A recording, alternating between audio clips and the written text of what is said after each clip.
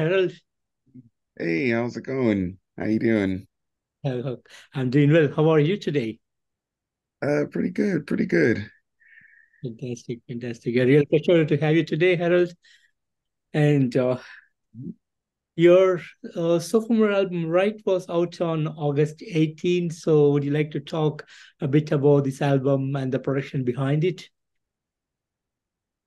Yes, so uh Rite, which is our our as you said, our sophomore album. Um, oh, whew, there's there's a lot of things I could say about it. Um, this is uh probably the the biggest undertaking um for uh for this band um for uh you know in a lot of ways um we we recorded at Westfall Studios which is in uh, Long Island New York um first time really uh spending that much time in a in a recording studio. I mean, we you know we've we had done a lot of things DIY up until that point. Um, you know, this was a little more uh, intense.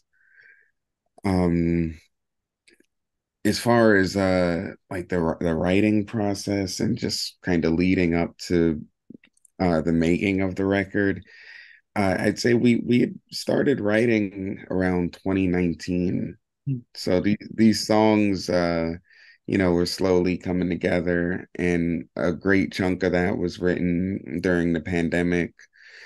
Um, and uh, I, I think that definitely had an impact on how the music would come together. You know, like just kind of sitting at home, cooped up, right? You know, at a desk writing metal. You know, it's it's not the way that we would normally approach uh coming up with the new music. Yeah.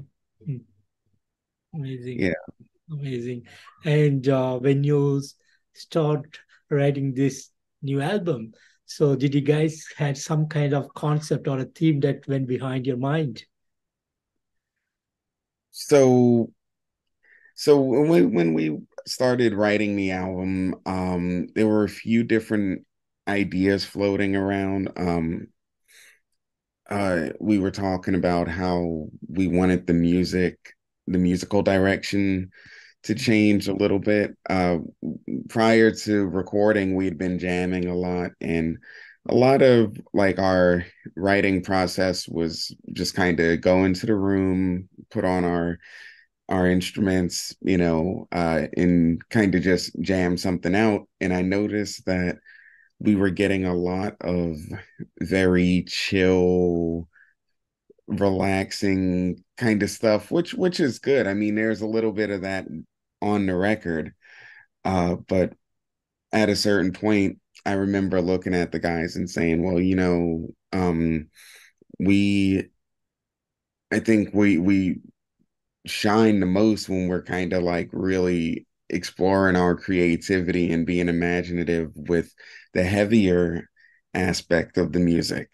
Um, you know, like we we were talking about our debut EP uh Entanglement and how, you know, I mean, we were really young when we wrote that, like basically college kids uh and we were thinking, okay, you know, we kind of want to channel that sort of intensity, um, but just a little bit more refined.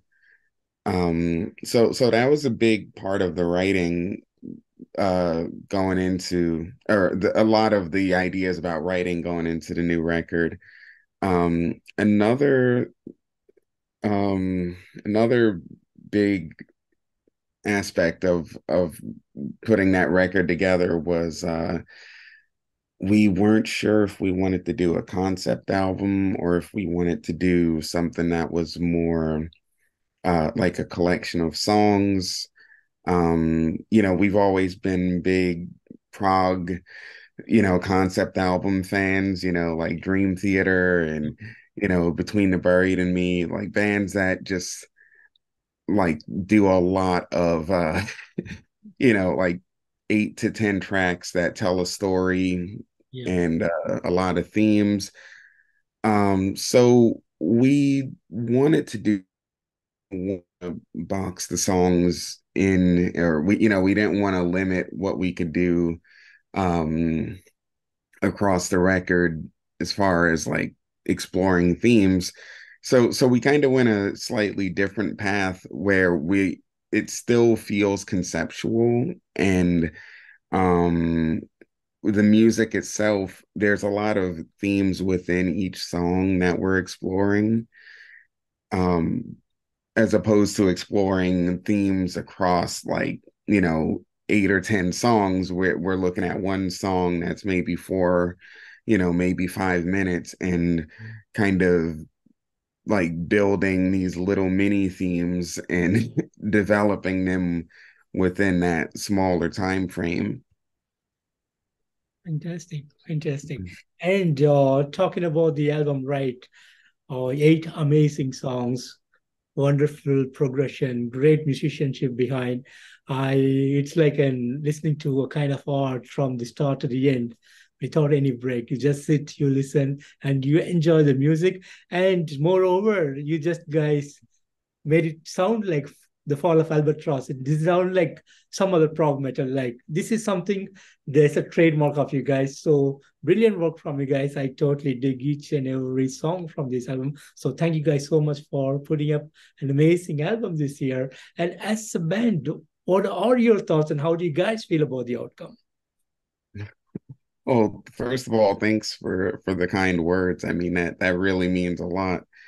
Uh as a band we've always strived to just kind of be uh to like our identity is a very important thing to us which you know um we we have a lot of influences you know from you know like a lot of the big prog metal bands you know down to like you know pop music and and like old school jazz and R&B and you know and punk and and you know just eh, you know we have a lot of different things that kind of uh inspire us and it would be really hard for us to just kind of replicate one thing you know like like we don't want to replicate anything but you know in the way that a lot of bands uh might lean heavily into you know their inspirations it it would just be too hard for us to choose one to lean into. We're we're just like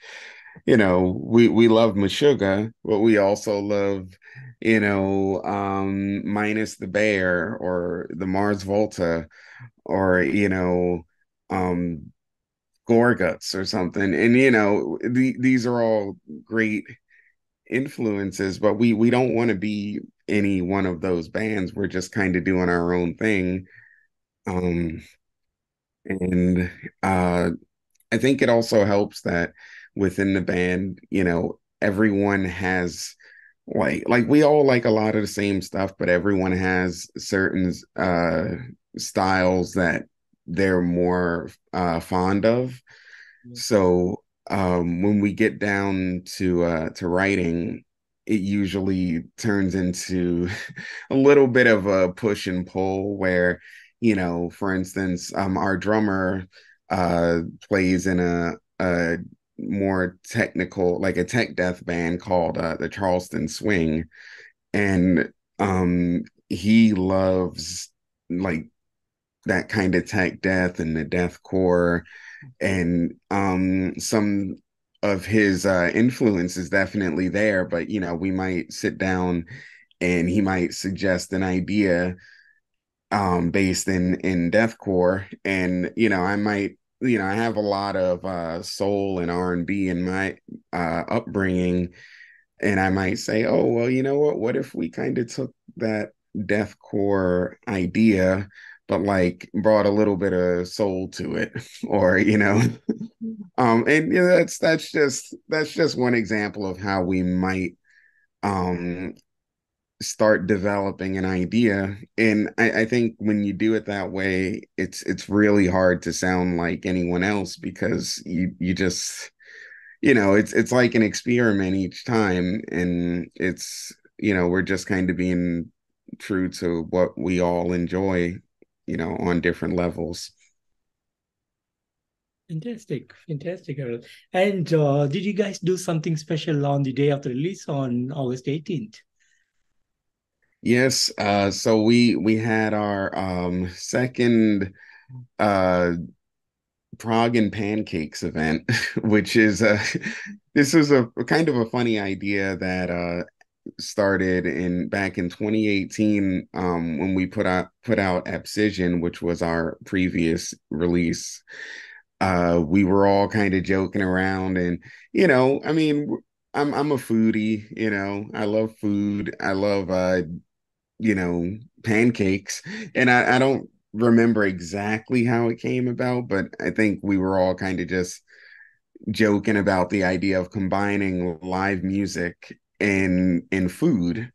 And I was like, well, you know what? What if we had like a prog metal show, but like we serve pancakes or something, you know, like yeah, or or I think there was at one point a suggestion for like pulled pork in prog or something, and we're like, all right, well that's that's for one that would be very expensive and uh and you know pancakes is a little more fun that's something we could do and we were uh you know shopping the idea around you know we're all based in new york city like in brooklyn and um you know most of the venues were just like we would not let you do this. And and and eventually we found one that was like yeah you know serve serve pancakes you know just don't make a mess so um we did we did that in 2018 for that release and then we felt like it was right to do it again for for the the release of Rite.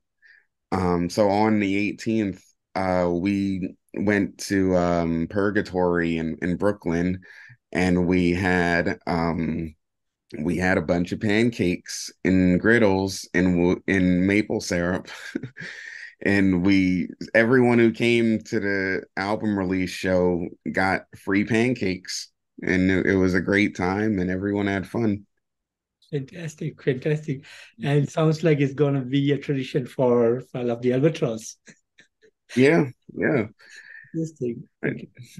We we might even serve uh, waffles at the next one. May, maybe. that should be interesting. Mm-hmm. And uh, how is the touring plan looks for you guys this year? So we are actually in the middle of uh, working out a tour for this coming fall.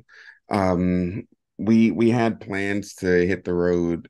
Um, well, truthfully, we would have been on tour right now, but we had some things come up um, within the band that just made it really difficult for us to go on tour. Um, but we are looking to hit the road. Um, I believe we're going to be on the road in late September, early October. Um, and uh, yeah, that's you know we're going to try to cover as much ground as possible, and then follow up maybe early next year with a, a bigger tour run. Um, you know, we're we're all uh, pretty uh familiar with like the east coast but it would be really nice to go further out you know into the midwest the west coast um and you know, just a big dream of mine would be to play internationally. And um, what's kind of cool is that with with this new record, uh, we've been getting a lot of plays from uh, in uh, Finland and uh, in Norway. So there's a part of me that's like, hey, you know what? Maybe that means uh, maybe next year we'll do a European run you know who uh, that I, I i can't speak for the rest of the band but i think that would be a lot of fun okay. Fantastic fantastic. And mm-hmm. how has this journey mm-hmm. with fall of the albatross has been for you guys so far? Mm, i'm sorry? How has this journey with fall of the albatross has been so far? It's the it's been it's been a very honestly it's been a very fun journey. Um this band has been like just a an absolutely absolutely cr- crucial part of my well-being and and you know some I, I don't think there are many things that I've ever been so proud of in my life. Um like the ability to make music and perform it in front of people and um just to have something that you, you know I think a lot of artists um have shared this sentiment about how the music lives on and and how it has a life of its own. And you know in so many ways I, would like to imagine that uh people will listen to fall of the albatross um you know 10 years from now 20 you know 40 years from now um regardless of whether or not we are still like making music or able to make music. Um, I hope that we will be, but it's it's something that uh, you know I'm very proud of the work that we've been able to do, and you know in in this world, it's a lot easier not to do it because um, you know life is crazy. You know, so many things happen uh and, and, you know this band's been together since 2009 and um so many things have happened along the way. You know we've had band members that have come and gone.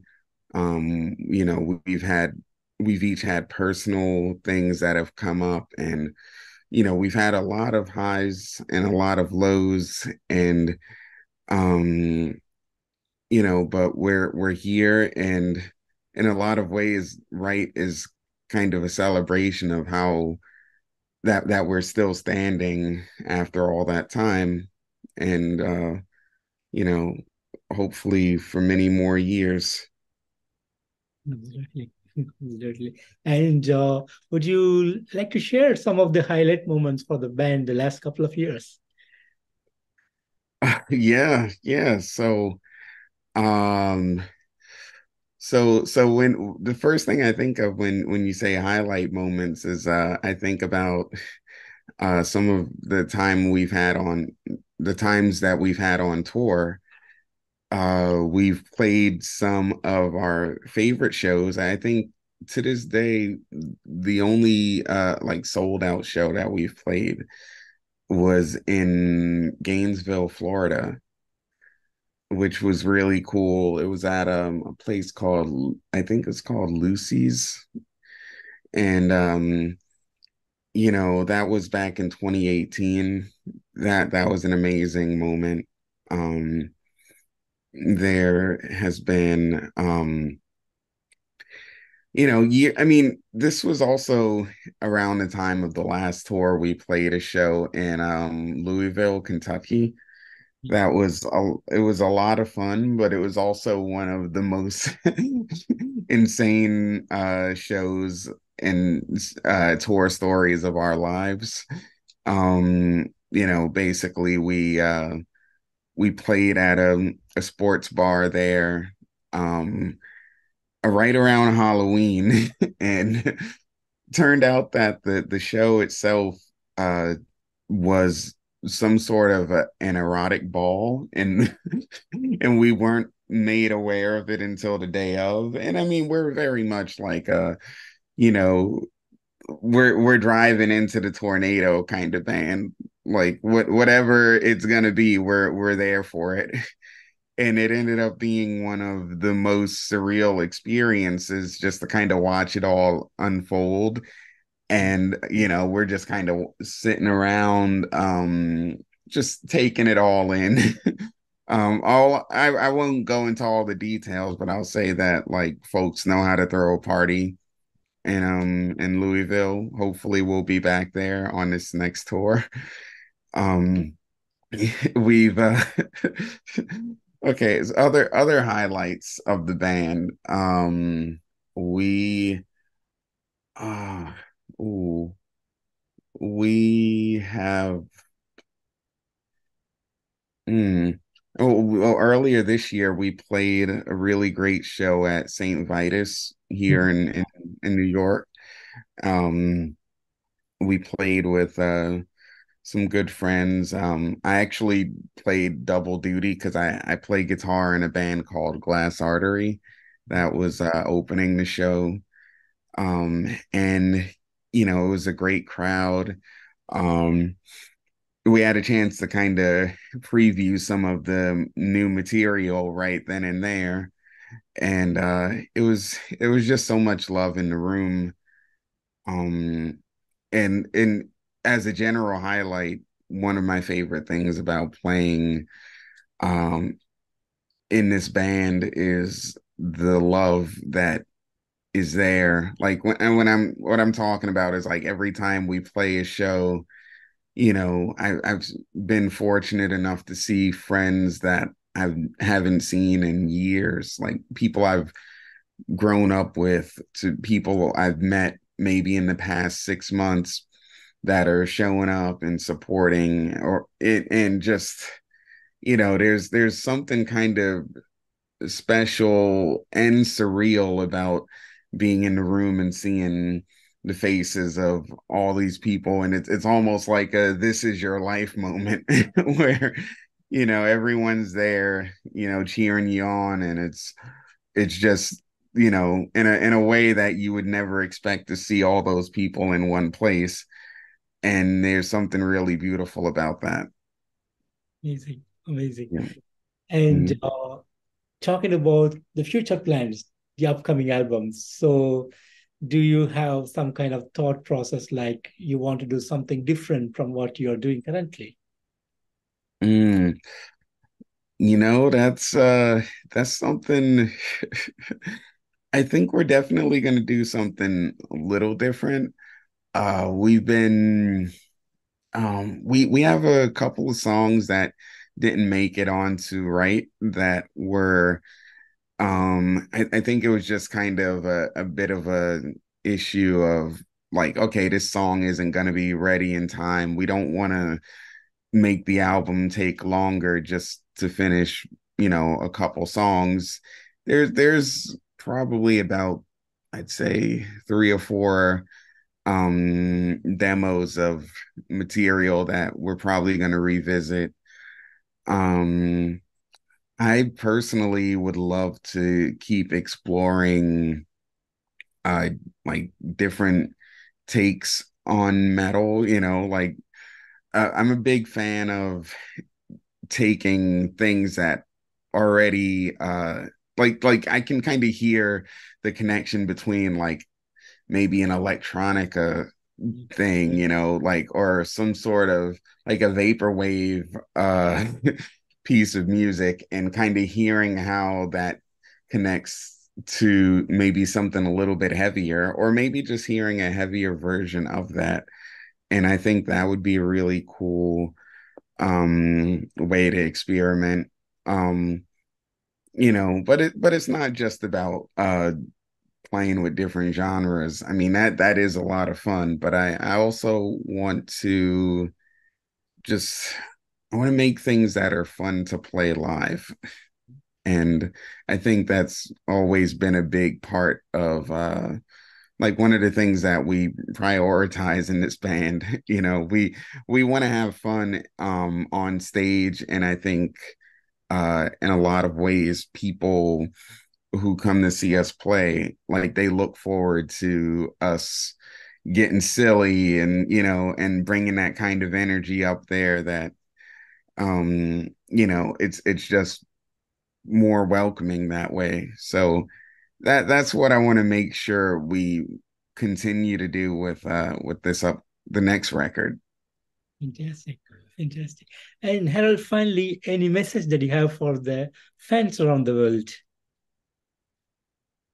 Well first of all if if you're a fan of our music in any way thank you like for real, thank you for uh for getting on this train. Um I mean, I know these days there's there's so many artists. I mean, you know, like every day I'm hearing about a new artist and I'm hearing new things that are really really good and you know, but but the point is that there's just so much competing for our time and attention.